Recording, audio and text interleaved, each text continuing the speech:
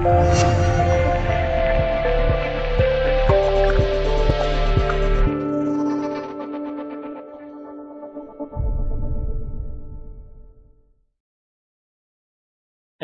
顶级巨星向来都是中国球迷追逐的对象，前有科比一呼百应，后有詹皇坐拥总统山。詹姆斯在中国拥有巨大的影响力，比起杜兰特、威少等现役球星的中国行，詹姆斯中国行真是刷新人们的三观。要是想问中国球迷有多疯狂，以前有中国女球迷闻科比球鞋激动落泪，没有想到詹密比科密更疯狂。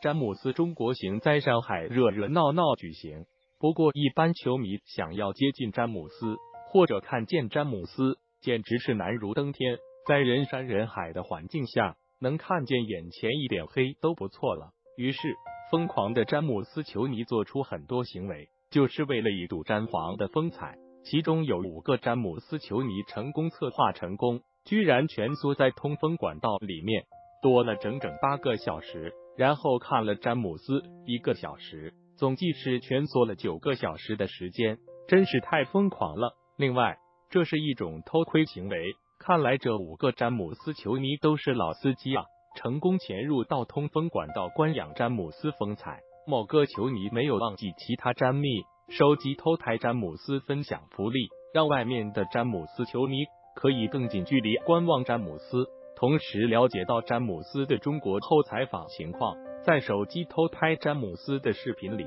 前面便是通风管道的铁丝网，空间十分狭窄，可见詹姆斯球迷的疯狂。整整九个小时蜷缩在一起，肮脏的地方仍有那么大的意志力和耐力。詹姆斯到上海水土不服，就服詹姆斯球迷。同时，新闻报道离詹姆斯采访现场。同样印证那几位疯狂的詹姆斯球迷确实是成功潜入到通风管道偷拍詹姆斯，偷拍的镜头和媒体报道出来的镜头如出一辙。只是疯狂的球迷似乎不明白一些问题，那就是个人安全问题。狭窄的空间蜷缩五个人，真心不怕在里面被憋死，这是在拿生命在追星。这一种疯狂的行径不提倡。同时会让詹姆斯感到得不到尊重。你要拍就大大方方的去拍，不要做一些偷偷摸摸的偷拍。幸好分享福利出来了，不然真要被抨击到地板上。